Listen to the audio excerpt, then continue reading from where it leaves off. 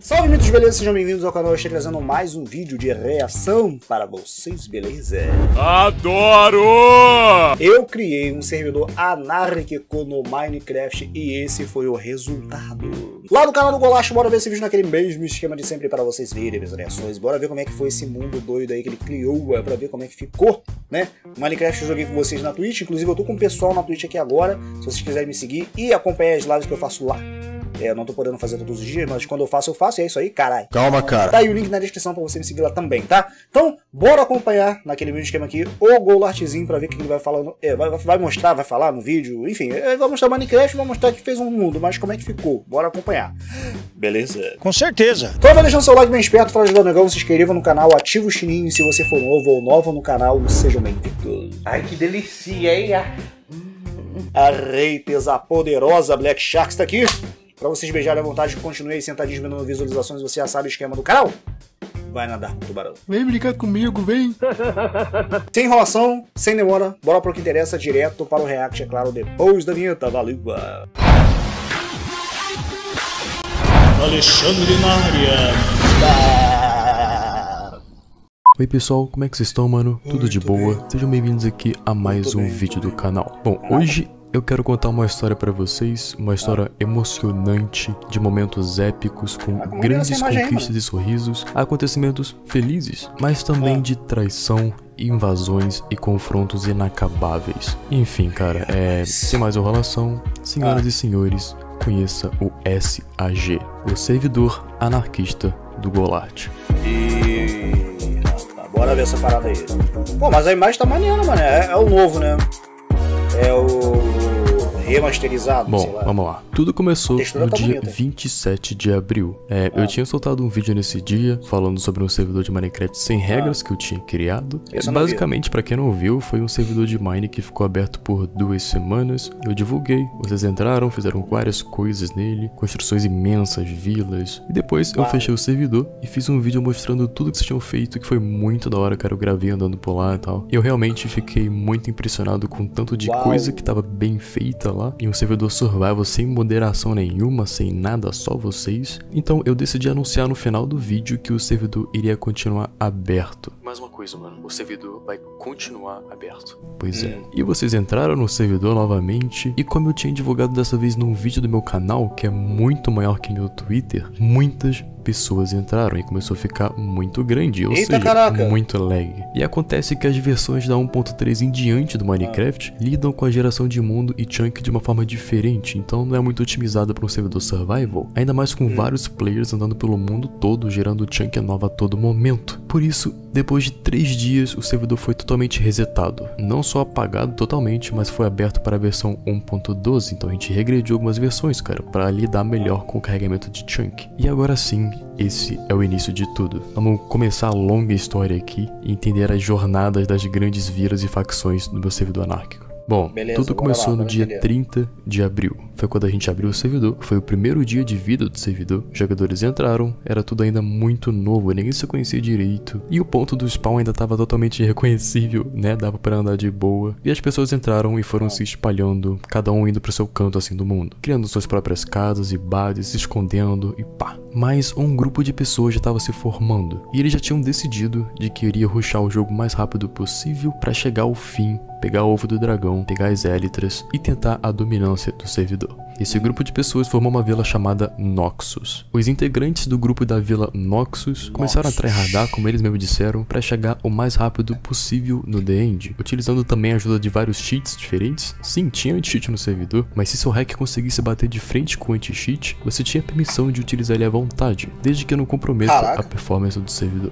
Então, o grupo da Noxus, depois de horas jogando no servidor, finalmente conseguiu achar o portal do End. Foram os primeiros a encontrar no mundo todo. Então, depois disso, eles. Entraram no The End, conseguiram matar o Ender Dragon e pegaram o grande troféu, o ovo do dragão, o item mais raro do jogo, já Caraca, que só é gerado uma Não vez ovo, não. em todo mundo. O problema Ah. foi, um jogador da Noxus pegou esse ovo do dragão, né, depois que ele derrotaram, claro, Ok. e ele tava andando de boa pelo The End com as pérolas do Ender e sem querer ele morreu.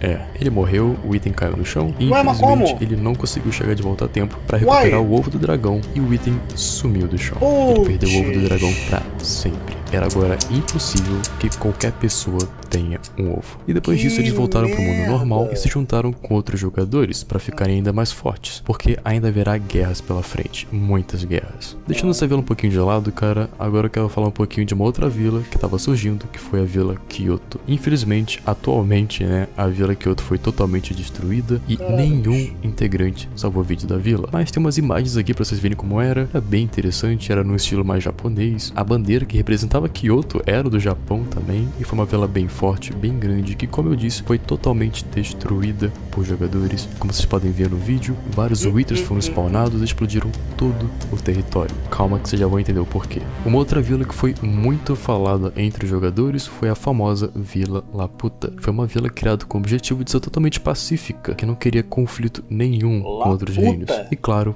baseado no filme da Ghibli, O Castelo do Céu. Eles queriam fazer uma vila que ficasse no céu. E o reino de Ok. Laputa tinha suas próprias leis e regras, com o objetivo de manter a paz entre os Laputa. habitantes da vila. Então era pra ser algo mais quietinho, eles não queriam treta com ninguém, só queriam ter um espaço calmo no servidor e ser lembrados na história. Mas mal sabem eles que essa paz não duraria por muito tempo. Infelizmente, um dia, dois jogadores aleatórios encontraram a vila e eles utilizavam um tipo de hack bem forte, que era o Aura Kill. E como a Vila Laputa não estava preparada para nenhum ataque, porque eles eram totalmente na paz, os dois jogadores simplesmente acabaram com a vila, matando todo mundo da vila que só queria viver em paz. E com esse acontecimento, o reino decidiu migrar para um outro local, longe de qualquer perigo, para que né, uma invasão não aconteça novamente. E eles ainda assim seguiam seus ideais de ajudar seus residentes, com doações de alimentos e abrigos para os integrantes. Quatro dias depois né, dessa invasão e da reconstrução da vila em outro lugar, a Vila Noxus até chegou a visitar a Vila de Laputa para dar presente e firmar a paz entre as vilas. E tava tudo indo bem para a vila, mas um dia depois, sim, um dia depois, um clã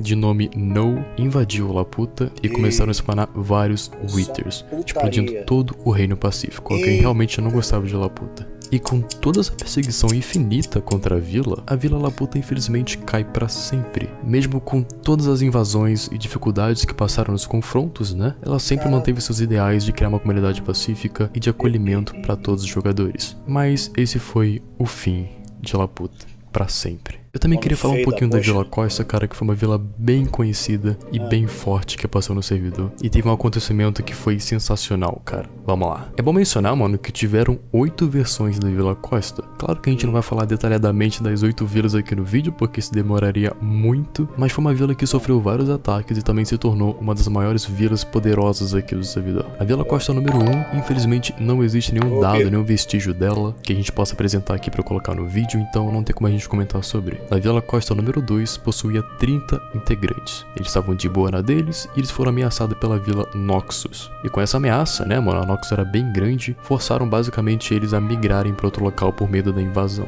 A Vila Costa 4, a gente felizmente tem vários vídeos gravados nela aqui, então dá pra mostrar certinho pra vocês o que tava rolando lá dentro. Era uma vila bem bonita e tranquila, toda morada em volta, e eles estavam bem equipados, tava tudo bem certinho quando ocorre uma catástrofe, o casamento. Então, o casamento foi um grande evento organizado pela Vila Costa na sua quarta versão, né, para afirmar a união entre uma pessoa da Vila Costa e uma outra pessoa de um outro clã menor. E muitas pessoas de outros clãs foram convidados, outras vilas também, dentre elas a. Vila Kyoto foi convidada. E a cerimônia estava tudo indo muito bem, as pessoas estavam felizes se divertindo para comemorar a linda união, né? Quando de repente eles são atacados furiosamente por diversos membros da Noxus. O que Eita. era para ser uma grande comemoração terminou em caos e destruição Vixe. Por causa da Noxus. E outra coisa, cara, dentro do clã da Noxus havia um informante, um traidor Ah. que tava no casamento e que tinha avisado que eles iriam atacar a vila de Laputa. Sim, nessa época Laputa ainda não tinha caído. Ou seja, parte do clã Kyoto foi pra Laputa, né? Tava lá em Laputa pra proteger. Isso com certeza enfraqueceu as defesas da Vila Costa, deixando a vila mais vulnerável e ocasionando na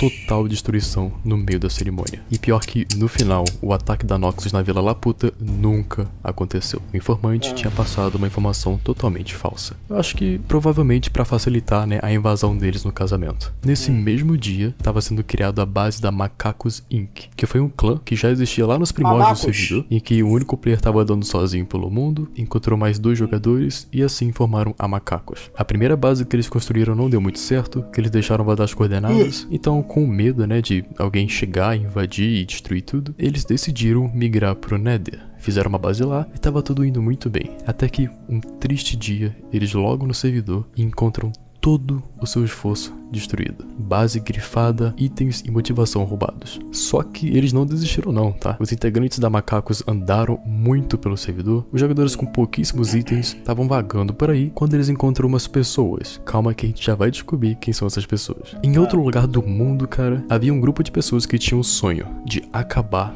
totalmente com o reinado da Noxus. Eles queriam se sobressair, aumentar suas terras, seus jogadores e invadir a Noxus para destruir totalmente. Só que ocorre um problema. O grupo estava se formando, né? Tava conseguindo poder, só que algum integrante de lá dentro vaza uma informação propositalmente, né, de onde eles se encontram, a base deles, e essa informação chegou até Noxus, que os atacaram totalmente sem dó, porque eles devem ter descoberto o plano deles, né? Mas mesmo assim, eles não desistiram. Mesmo depois do ataque da Noxus, eles decidiram ir até o The End e lá eles encontraram um velho sábio que tinha total dominância da técnica de dupar itens, ou seja, duplicar itens. E assim eles poderiam farmar itens, o que aumentaria muito o poder deles. E com isso, eles se sentiram mais motivados do que nunca e criaram um nome para o clã.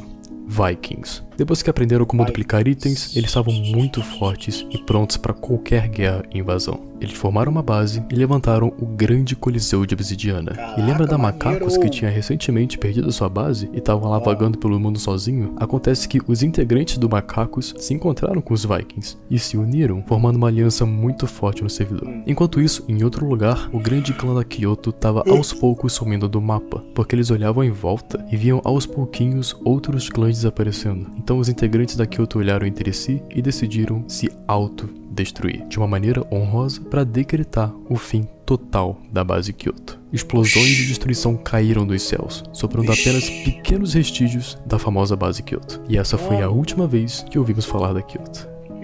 Em um outro lado do mapa, o forte e temido clã da Noxus já também não estava muito presente no servidor, e vendo os outros clãs desistirem, isso trouxe um grande desânimo para eles, e assim como Kyoto, para ainda manter o seu reinado como uma das vilas mais fortes do servidor, que já tocaram no servidor, decidiram se auto-explodir, acabando com sua base e decretando finalmente o fim do grande clã da Noxus. Mas calma que ainda vai ter mais coisa.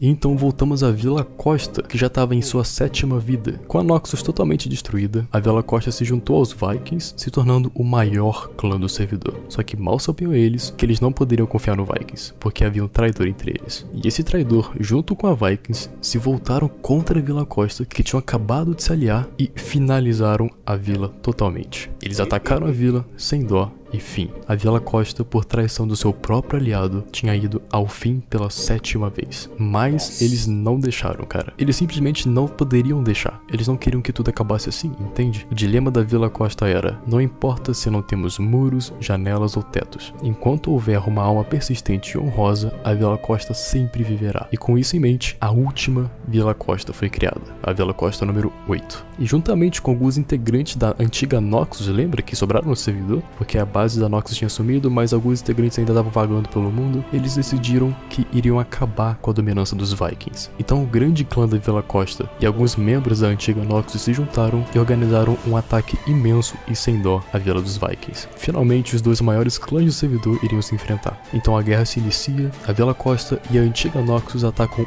impiedosamente a base dos Vikings e depois de uma longa duração de batalha, Caraca, tá Costa e legado aí. Noxus derrotam o último jogador dos traidores. Esse foi o fim do reinado dos Vikings. E junto com isso, cara, foi também o fim de todas as guerras do servidor. Depois de tanto tempo da SG, depois de inúmeras guerras, conflitos e desentendimentos entre vários clãs, finalmente acabou tudo. Foi uma grande jornada, eu sei que tudo, cara. E eu só quero mostrar pra vocês como é que ficou o estado do spawn também. E com isso, a gente termina a história do servidor SAG. Hum. Spawn. Bora ver como é que ficou.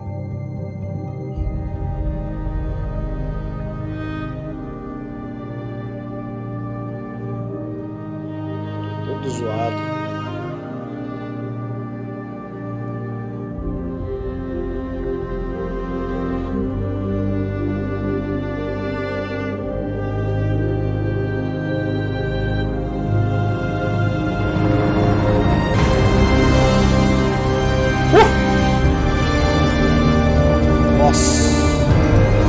Cuidado. Meu ah, mas a imagem tá bonita mesmo, gemão tudo quebrado. Sei lá. Eita, mas que bosta, hein? Os caras quebrou até a água, mano. Como é que é isso?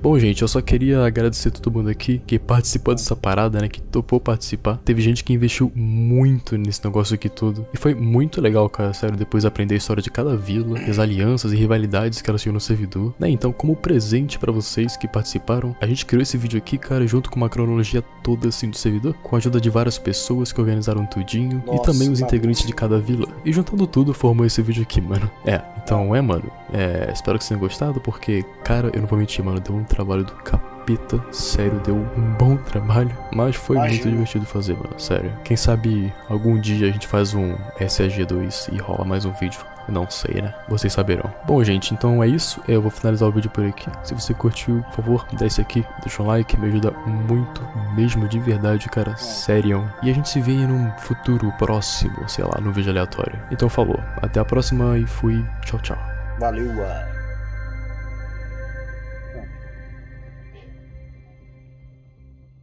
Acabou? Acabou. Ó, esse daí foi o vídeo do Golaço, tá? O link vai estar na descrição, tá? Mano, é, o, o jogo, ele tava tão, assim, pesado de tanta gente que tava dando aquela, aqueles lagzinhos, tá ligado? Que demorava até pra recarregar ali algumas imagens, que eu percebi isso. Mas imagino, cara, como é que deve ser criar. Eu já tive a oportunidade de ter um, um servidor aqui. Eu esqueci agora o nome do, do site que faz o servidor. O pessoal da live aqui, quem quiser, quiser colocar aí depois, eu falo o nome. Mas que eu cheguei a fazer um servidor meu, no caso. E, mano, o pouquinho que eu saí e voltei, e olha que não era muita gente que tava no servidor, não, tá? Os caras fizeram um negócio top, meu irmão. Eu fico assim impressionado com as construções que as pessoas fazem ali é, dentro do Minecraft. Eu acho uma construção, construção uma mais bonita que a outra. Eu não vou me botar nisso daí, porque eu sei que as construções que eu já fiz lá é uma merda. Eu não sou bom de construir coisa no Minecraft, não. Sendo bem honesto, quem já jogou comigo lá sabe que isso é verdade. Mas, mano, o servidor que eu criei, que era o mundo do negão nocivo. Mano, os caras mandaram bem pra caraca, na moral. Eu não sei se é esse nome exatamente, porque eu fiz tanto, tanto mundo. Mas enfim, eu sei que teve um mundo lá que eu criei. E os caras criou um negócio brabo pra caraca, uma construção aqui top pra cacete, tá ligado? Eu achei maneiro. Quem sabe um dia eu volte, não sei. Vai depender do pessoal aqui da live na Twitch também. A gente pode voltar um dia a jogar Minecraft ou outros jogos, enfim. Mas, gente, é isso. O link do Golash vai estar aí na descrição. Muito legal aí esse projeto que ele fez. É bom é, saber que de repente tá pensando em fazer um próximo. Não sei se já fez, sei lá. Mas é isso, gente. O link, como eu falei, vai estar na descrição. Se vocês quiserem mais vídeos do Golash, deixe nos comentários aí, tá bom? Se tiver like e outros comentários pedindo a mesma coisa, estarei vendo com vocês. Sendo dele ou de outros canais, enfim, é isso. Deixa seu like se você ainda não deixou pra poder ajudar o negócio. Se inscreva no canal se você ainda não é inscrito e ative as notificações pra poder me ajudar, tá bom? E eu vou ficando por aqui, gente. Muito obrigado a todos. Aguardem mais vídeos. Até a próxima. E valeu!